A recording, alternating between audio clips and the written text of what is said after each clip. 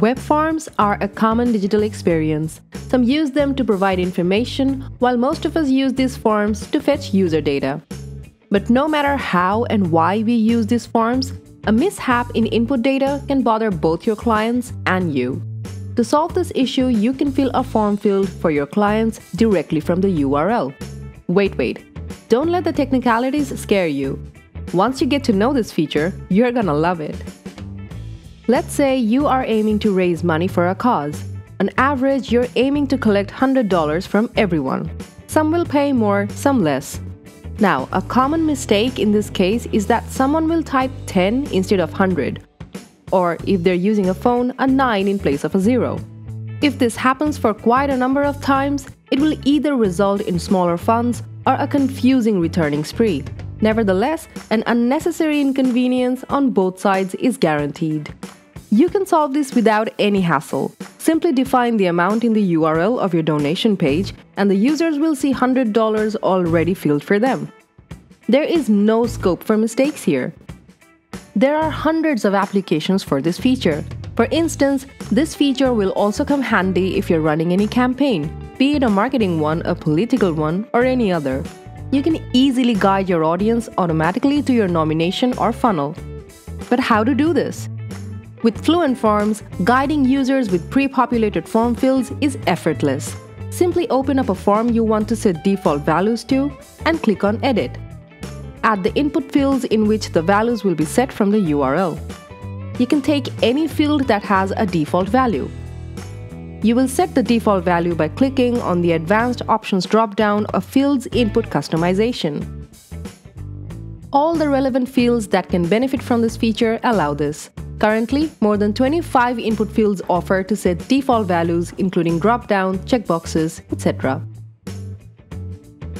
Let's consider a text area field. Hover over the field and click on the edit icon. Get to the default value of the field, drop down the menu and choose Populate by getParam. The name attribute appears as the parameter after the get, but you can change it if you wish. For instance, here we have get.description inside the parentheses. We will change it to get.complaints. Now, save the settings. Go to Pages from the dashboard and create a new one.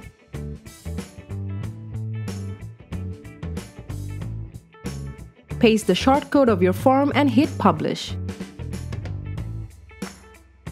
Go to the page you just published, and you'll see the form appear as it is. Now, carefully see the URL or permalink of the page. If you use this URL, the form will appear like this. But if you wish to guide your users and fill some of the fields, such as the text area field in this case, you will have to edit it. Type a question mark after the URL and follow it with the parameter you chose. In our case, complaints. Now, follow it with an equal sign and type in the value you want to show. For instance, I have no complaints regarding this service. Press enter or refresh the page and see the magic happen. You will see I have no complaints regarding this service appear on the text area field. This is called pre-populating an input field from URL. Any user that has this URL will have the text area field already filled. By populating values from input fields, you'll be able to deliver a customized experience for your users. This enhances user experience and gains you more confidence. Like, we have taken a checkbox field, we took the get.checkbox and changed the parameter to get.service. We will edit the options and head to the page.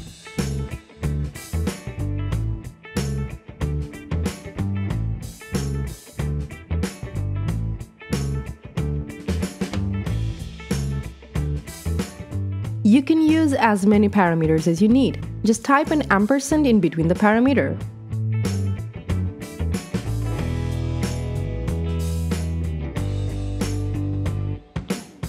That solves it. And you must admit it was way simpler than you thought it would be. So that's it for today. Stick around to our channel WP Manage Ninja, hit subscribe and the bell icon for more videos like this.